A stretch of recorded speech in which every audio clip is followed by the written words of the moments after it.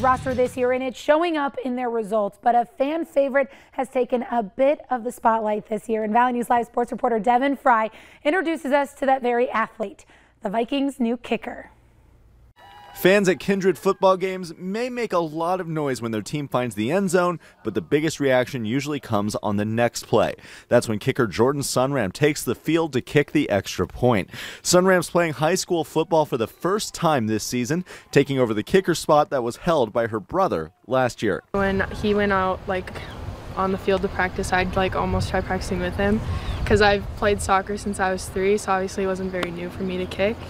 So then after just trying it, my dad took a video of me and then the football coaches saw it and then they asked me to come to practice one day. I love it, especially like if I do have an instance where I miss, they're very supportive and make me want to make the next one. I just have so much support and I'm so thankful for everyone. Sunram, who's a multi-sport athlete for the Vikings and is currently also playing on their volleyball team, hasn't only focused on kicking. At the start of the season, she also did tackling drills in case she needs to deliver a hit. It's been very busy, obviously, playing two sports, but it's really fun to play with the boys because I'm friends with a lot of them.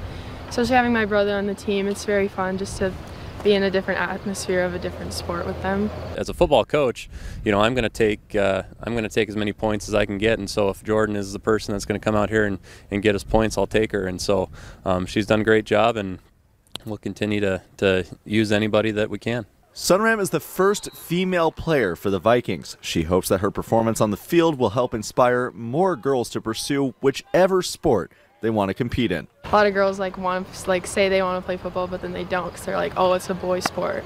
So like showing girls that I can do this and they can do it too, it just means a lot. I'm glad that I'm able to be a part of that experience for everyone and show girls that it can be a thing for a girl to be on a football team. With the Vikings, Devin Fry, Valley News Live Sports.